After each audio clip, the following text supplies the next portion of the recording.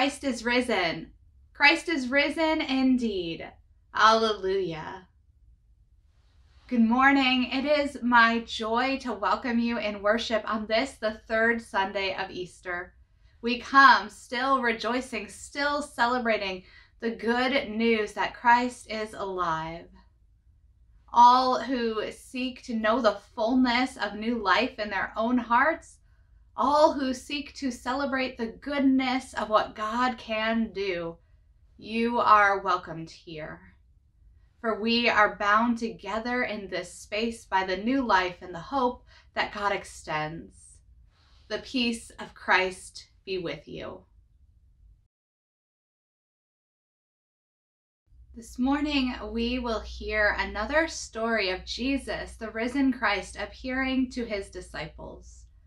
Once again, he will meet them in their mixed up way, just as they are, trying to make sense of all the stories they have heard. Jesus will come, stand in their midst, offer himself to them, open their minds to help them understand the reality of good news. Jesus will send them out with a mission to proclaim that good news as real in the world to all the nations. But first, he invites them to linger and know that it is real and good in their own lives too.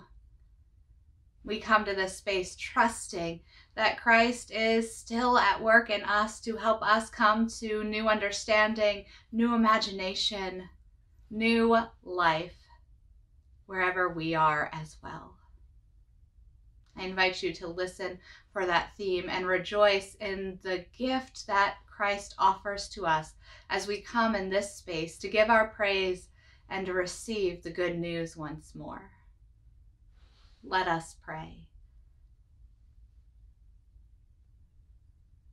Most holy God, alive and at work in the world, we praise you for the joy of this day, for the miracles of transformation you bring about meet us once more in this space here and now.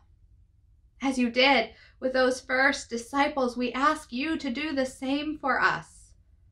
Open our eyes to see, our minds to understand, our hearts to love, our hands to give and serve and share. All so that we can fulfill the call to be witnesses of you in the world. We pray in the name of Christ, our risen Lord, with the power of the Holy Spirit flowing through us. Amen.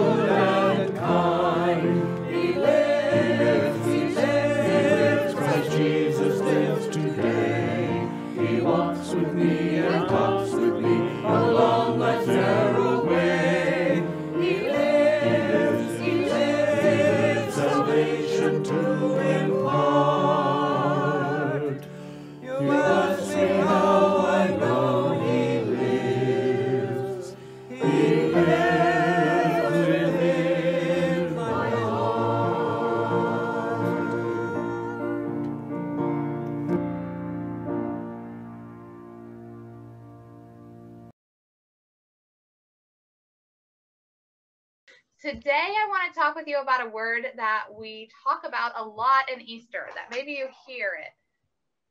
Can you guess what it is or have any hints based on the word I'm pointing to? Hallelujah. Hallelujah. Good job. Sash, can you say? Hallelujah sounds like hallelujah. So if you pronounced it with an H at all, then it's hallelujah. Yeah, sometimes people use them interchangeably, meaning that they use them uh, in place of each other. Yeah. Do you want to show? Well, first, I want to ask uh, Sasha's going to show you something that we're going to talk about with this, but do you know what Alleluia means? Have any guesses? Mm, butterflies. Butterflies? Uh, well, it, that's a good guess because of all the butterflies there. Like a fancy word for butterflies. Hmm. It has. So what it means is it means praise God. And so, do you know what praise is? Praise is like to rejoice, to celebrate, to say thank you to God. I thought it meant prayer, God, because it praise sounds like prayer. Hold on, Sash. It sounds the same as prayer, doesn't it? Praise, prayer, they're similar. So it's almost like a praise is like a special prayer to God saying that, God, you're really great. We're really glad that you're you. So Sasha wants to show you this. This is an Easter craft. I don't know if you did yours or had yours, but this is one that Sasha has. And so we took her handprint, and then on each one, we put a flower, an Easter lily. And we use Easter lilies. That's a flower that we use around Easter time. Some people like it because for Easter because it kind of looks like it has the shape that sort of looks like a trumpet. A tru- I did not think of it Like as the horn of a trumpet. I don't think the whole part where you hold it. You you want to see how see? Sasha thinks you can play it like a trumpet.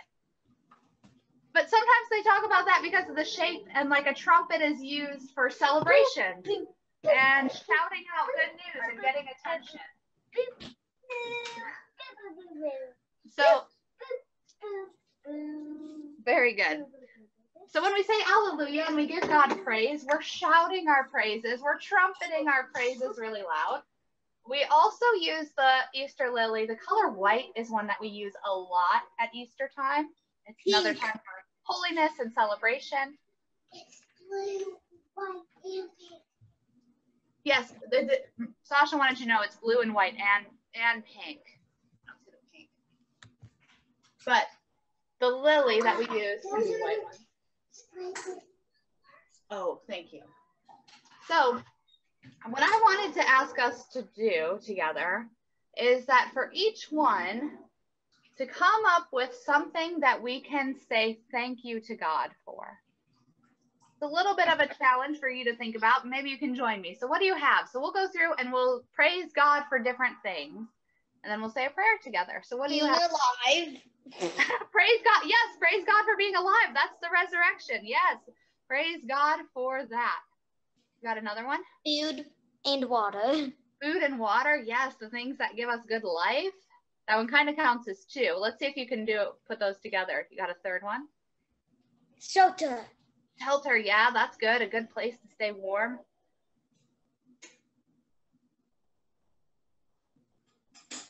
Animals. Animals. Yeah, for all of creation and the creatures. Can you come up with another one? Entertainment. And entertainment. I was gonna say love. All the people and all of the people in our lives who love us. I like entertainment. That's the things that are fun and joyful and imaginative and creative. Maybe all those things. And so when we say Alleluia, we're giving praise to God. And I wanted you to think about an Easter season. Which did you know Easter is a whole season? I did not. Yeah, so it's kind of like uh, spring. You know how we have the first day of spring and then we have the whole spring season? Mm-hmm. Easter Sunday is like the first day of the Easter season, and it's 50 days long. And so I was thinking about a challenge for us is that all these 50 days of Easter, when we say Alleluia, or when we pray to God, we say Alleluia and give praise, and we can think about different things we want to thank God for. And if you ever need help coming up with some ideas, you can talk to people in church, you can talk to me, you can talk to your family. You could also read the Bible. Uh, there's a lot of praise psalms, which are songs or prayers or poems in the middle of the Bible, especially at the end of Psalms. There are mm-hmm. 150 psalms, and the last ones are praise psalms. There are others throughout, but there are a lot at the very end. So if you ever need some ideas of what to praise God for, you can go to the end of the Psalms and read some of those, which talk about how mm-hmm. good God is. But thank you for helping me talk about how good God is and for learning about Alleluia with me. So, will you now we will turn our praise into prayer. Let's say a prayer together. Dear God, we praise you for you are so good. You give us all life and joy and hope and love and so many good things that if we listed them all, we would run out of time. So we ju- just say thank you and alleluia. Amen. Amen. This morning's scripture tells another story of the risen Christ appearing to his disciples. Jesus comes to them while they are together trying to make sense of the stories that they have already heard. He comes and offers himself to help them understand and be ready for their mission. Jesus instructs the disciples to stay put while he continues to appear to them again and again. Hear this reading from Luke chapter 24, verses 36 through 49. While they were talking about this, Jesus himself stood among them and said to them, Peace be with you. They were startled and terrified and thought that they were seeing a ghost. He said to them, Why are you frightened? And why do doubts arise in your hearts? Look at my hands and my feet. See that it is I myself. Touch me and see, for a ghost does not have flesh and bones, as you see that I have. And when he had said this, he showed them his hands and his feet. While they were while in their joy they were disbelieving and still wondering, he said to them, Have you anything here to eat? They gave him a piece of boiled fish, and he took it and ate it in their presence. Then he said to them, These are my words that I spoke to you while I was still with you, that everything written about me in the law of Moses, the prophets, and the Psalms must be fulfilled. Then he opened their minds to understand the scripture, and he said to them, Thus it is written that the Messiah is to suffer and to rise from the dead on the third day, and that repentance and forgiveness of sins is to be proclaimed in his name to all nations, beginning from Jerusalem. You are witnesses of these things. And see, I am sending upon you what my Father promised. So stay here in the city until you have been clothed with power from on high. These are holy words. Thanks be to God. During Holy Week this year, our friend Jim Bohm shared with me a meditation on Maundy, Thursday that he came across. This meditation is written by Reverend Troy Treesh, who serves in the Houston area. And in it, he reflects on the story of Jesus on Maundy, Thursday, serving his disciples, bending low to wash their feet. You may recall in the story that Simon Peter, when it's her, when it's his turn, he resists mightily. Surely not, Lord, he says. When Jesus, though, explains the necessity of receiving this gift, Peter relents and becomes his overeager self. Okay, then don't stop there with my feet alone, but wash my hands, my head, all of me. In reflecting on this story, Reverend Trish writes these words Love leaned down before you and washed from your feet the dust of the day, dried your feet, and cautioned that if you can't receive, you will miss love, capital L love, altogether. As I wrote back to Jim and reading this, I was convicted by those words. Jesus cautioned that if you cannot receive, you will miss love altogether. The uncomfortable truth of these words transcend this singular story. It is about far more than foot washing. If we cannot receive grace or forgiveness or hope or kindness or new life or a gift offered to us, then we too will miss the capital L love altogether. We will miss resurrection altogether. We will miss God's vision for creation altogether. And yet, I know that for many faithful brothers and sisters in Christ, we've been known to admit to one another sometimes it is easier for us to give than it is to receive easier for us to bend low, take up the basin, and serve than it is for us, like Peter, to sit still through the awkwardness of receiving a gift a gift of love, a gift of God's grace. I suspect that this is as true for us in how we tend to one another as it is in how we receive God's tending towards us at least it is true if um, the number of faithful people I know who resist asking for help or those who admit they know how to pray for others but not themselves, if those stories can be taken as any indication, it is true, perhaps we too struggle with what it is to receive God's tending toward us. Sometimes it can be hard for us to receive that very same thing which we seek to give so freely.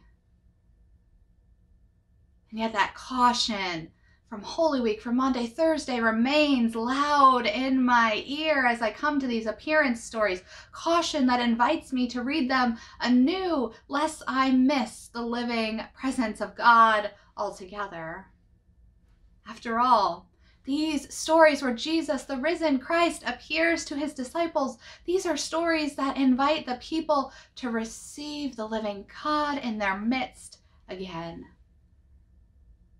Sometimes we hear the stories and we get caught so much in the disciples' response we might hear them as nothing more than stories of the disciples once again wrestling with doubt and with fear, with their confusion, with guarded joy that is not sure if it can trust the too good news to be good. We may wonder when we come to these stories, much like Aram did a few weeks ago when he asked, Was Jesus mad at the disciples for this? When he asked the question, I was a little caught off guard and I stumbled in my answer at the time. Because this is a question I have wondered myself, particularly on the days where I see way too much of my own experiences of doubt and grief and fear and guarded joy mirrored in the disciples. On those days, I sometimes come to the story with the resistance of Peter I come as one who has already judged all of those things and is ready to reprimand and assume that Jesus must be ready to reprimand too. Except then I hear again that caution if we cannot receive, we will miss love altogether. And I wonder if maybe in the past I have missed the story of the living Christ altogether here in these appearance stories. Because these stories are about the living God coming into those very same places of fear and grief and disbelief and confusion and doubt and guarded joy. Not to reprimand them, but to transform them no matter how long it takes. Jesus in these stories comes to offer himself again and again. These are stories about the resurrected Christ coming, inviting the disciples to lay down their resistance and simply receive the good news. Take it in till it makes its home in them. Receive grace, receive hope, receive peace, receive new life, and not just one time, but over and over again until it settles in real good in you, in me. In the story that we hear today, the final instructions that Jesus offers to his disciples he tells them not to hurry on from Jerusalem with their mission, but instead to stay put. Wait for the gift of the Holy Spirit that will also yet come. Luke ends the story there, but Acts picks it up to fill in the details for us. Jesus invites his disciples to linger where they are for 40 days that biblical number of wholeness and completeness. This may seem strange given that Jesus has also just given the same disciples a mission to go and proclaim the good news. Christ lives, forgiveness abounds. We need only repent, receive it. And yet, before the disciples can get on to it, Jesus must, must fulfill the same mission in their own lives first. Otherwise, what witness can they proclaim, anyways? Admittedly, those of us who in the past, myself among them, have come to this story and wondered at the disciples locked in why they didn't get on with it already those of us who still today would rather rush on, get to serving, get to doing something, we might balk at the hurry up and wait instruction. It is a vulnerable and humbling thing to slow down and stay put to receive God's tending in our lives too but hurry up and wait, they must. For otherwise, they might risk missing it altogether. And so Acts picks up the story and tells us that over the next 40 days, the risen Jesus appears to them again and again and again to fulfill the mission in their own lives, to proclaim the good news as real till it settles in deep in them. He meets with them. He teaches them. He eats with them. He opens their eyes to see anew. I wonder how many times in those 40 days did Jesus extend his hands to them, his feet to them? How many times did he say, Touch, see, know that it is me? I wonder how often disbelief crept in again and Jesus once more simply stretched out his hands. Or I wonder how many times he went over the scriptures with them again, the prophecies, the foretellings of his own death and resurrection, opening their minds again and again and again every time fear, disbelief tried to slam them shut again.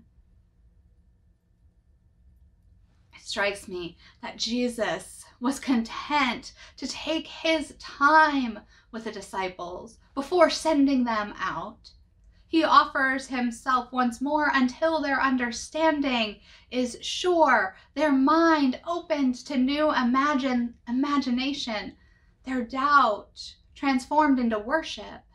Jesus is content to take his time with them till they could be witnesses who proclaim not only their own fear, but how Jesus transformed it into peace. He takes his time with them till they can be witnesses not to their own condemnation and hardened hearts, but to the redeeming truth of forgiveness at work in them too.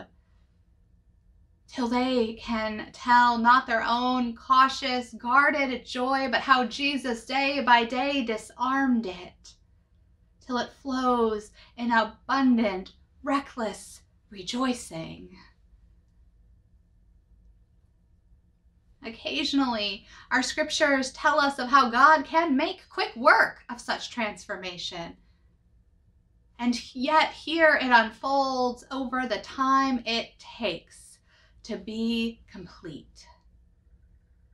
And we know, we know that this work of transformation can be slow and tedious and humbling, awkward, even painful work sometimes. No wonder we resist it like Peter. No wonder many of us would rather take up our eager service than to receive grace and let it touch those places in us where grief and fear and doubt and disbelief still take up residence in us. We may not want it to touch those parts of us that we have already judged and reprimanded and cast off as beyond redeeming. And yet, my friends, the story of Easter is always an invitation for us to receive Christ's redemptive work in those very same places in our own hearts and our own lives to receive new life, to receive forgiveness, to receive reconciliation, grace, hope, over as long as it takes for it to be complete in us. For only then can we truly participate in God's transforming work in the world. It's that old adage that we cannot give what we do not yet have. We cannot witness to what we resist knowing as true and real in our own lives. Which is not necessarily the same as saying that we can't witness until we have all the answers figured out. Goodness, no. It's simply to say that if we are not open to receive the ever living Christ in our own lives, tending to our own spirits, then, my friends, we will miss that capital L love altogether. We will have no witness that is our own to share. My dear siblings in Christ, we already know that we don't want to miss this. So, my prayer today is that God would slow us down. Open our hands, soften our hearts, humble our pride. Invite us to linger in those places we are not always willing to stay. May Christ's transforming work meet us there, ready to receive so that we will know the capital L love, the capital L life that our most holy God yet brings forth. Alleluia. Amen.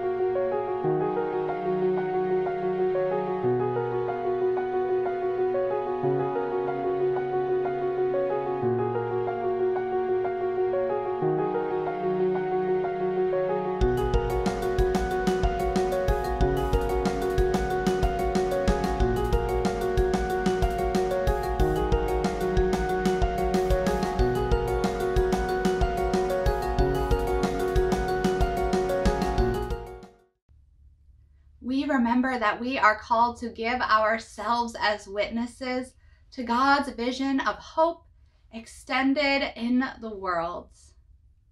The missions and ministries of our congregation go to proclaim a message of hope in our community. The gifts that we give go to feed those who are hungry. They go to help make space for those who have not yet known Christ to be able to meet Him in our love, our compassion, our justice, our service, and worship in the world. You can continue to support these missions and ministries by giving online at snohomishumc.org, through the church office, or by mail. Additionally, today we honor the third of our United Methodist Special Sunday offerings as we give to support Native American Ministries Sunday. We give this day as part of our witness of serving alongside all nations to proclaim the hope of God's vision. When we give this day, we honor that Indigenous communities and First Nations people, they offer to us a reflection of God's goodness and diversity in creation. We honor and celebrate the unique witness that tribal communities contribute in pointing us towards God at work in the world. Additionally, our giving today is an act of repentance and reconciliation for the ways in which that witness has been diminished through acts of violence and acts of greed. Rather, we give to support healing and reconciliation that will go to undo the social inequity that persists as a result of wounds. And so today we give on behalf and celebrating, uplifting our Native brothers and sisters in Christ and the witness that they offer to us. Again, I invite you as you give to please mark your gifts accordingly so that they can go and be designated accordingly to support Native American Ministries Sunday. We remember that together, thanks be to God, through Christ, we do indeed do more. Let us pray.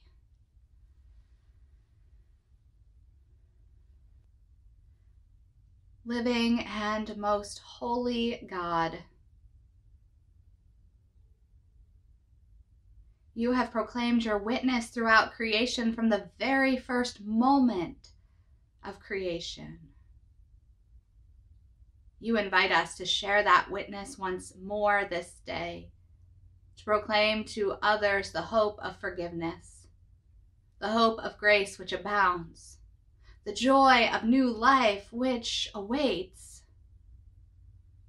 And we remember in the stories of the scriptures that the scriptures tell us that from that first moment of creation through till now, you have never tired of offering yourself to us that we might be overfill, overflowing with the very same grace and forgiveness and hope that we are sent out to declare.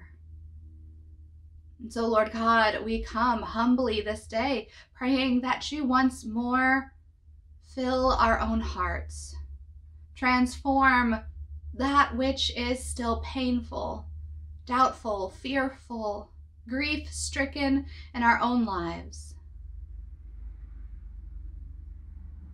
Lord God, we pray that you would offer yourself through the fullness of time until healing, reconciliation, restoration, hope, joy are made complete in us. That's how we offer a witness out of our own stories of the transforming, redeeming work that you do.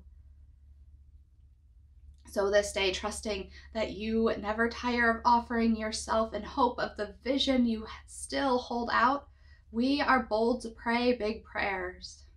Big prayers on our own behalf and big prayers, bold prayers on behalf of creation. Lord God, where we see only pollution and only consumption in the beautiful world you have offered to us, help us to see the way that we participate in making it cleaner, wholer, honoring the beauty of creation and the gift that it is. We pray for nations who are still often torn apart, who know the pain of violence in their communities, who know the seeds of mistrust and hatred that can be born from it. Lord, we are bold to pray that you open our eyes, open our minds to another way, more imaginative, more redemptive than the ones we sometimes see before us. We pray the same thing for our own families, our own communities, our own neighbors who know the pain of division and of broken hearts right where they are.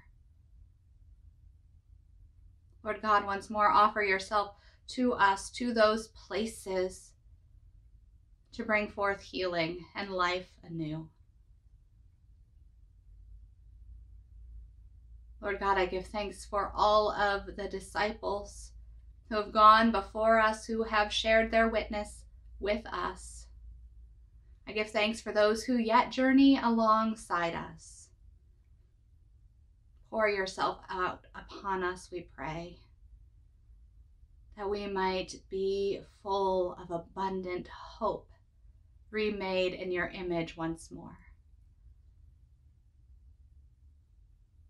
Hear too, Lord God, the prayers that are on our hearts for those most in need of healing in body and mind and spirit. Those in need of freedom from addictions.